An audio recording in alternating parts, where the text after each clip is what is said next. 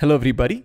This time, let's talk about a very, very interesting phenomenon that you would have witnessed while working with lengthy documents, especially agreements and legal papers. Now, let's suppose this is a sample vehicle lease agreement and your senior has emailed this to you after reading this out and he has highlighted some specific points or words which might need review and rewording. Now, point one if you have to find all these highlighted text, normally what we do, scroll using the mouse and we scan through all the pages one after another, maybe even start again just to double check in case you missed anything. Now, is there any efficient way to scan through this document and catch hold of all the text which has been highlighted irrespective of the color? Yes, there is. Let me show you how. First, you press Ctrl Home key that will take your cursor to the beginning of the document. Control home. Once you have reached to the beginning of the document, then you press Control H. Now Control H will directly take you to this dialog box of find and replace. A lot of time people go to find by pressing Control F. So once you reach to the replace tab of find and replace using Control H, you will see a button on the bottom left corner and that is called more. Click on more.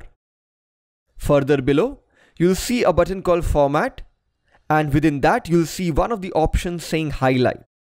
Click on highlight. Now the word highlight will appear here. As of now if you want you can click back on the less button so that the clutter is taken away. Now for the first time you click find next.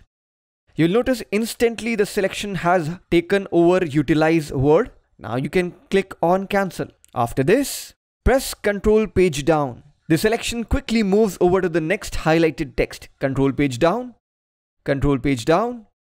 Aha, in fact one of the highlighted text was green color. Very easy to miss that out. Control page down.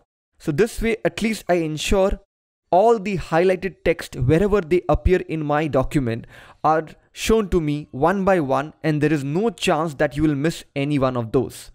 If you wish to see the previous highlighted text, press control page up. Control page up.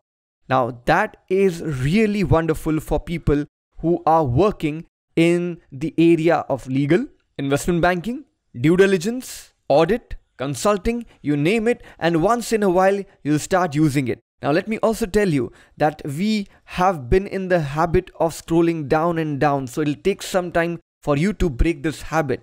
But once you make the habit of using this technique, you will never go back. Trust me on this. I'll show you more associated tricks with the same logic in the next video.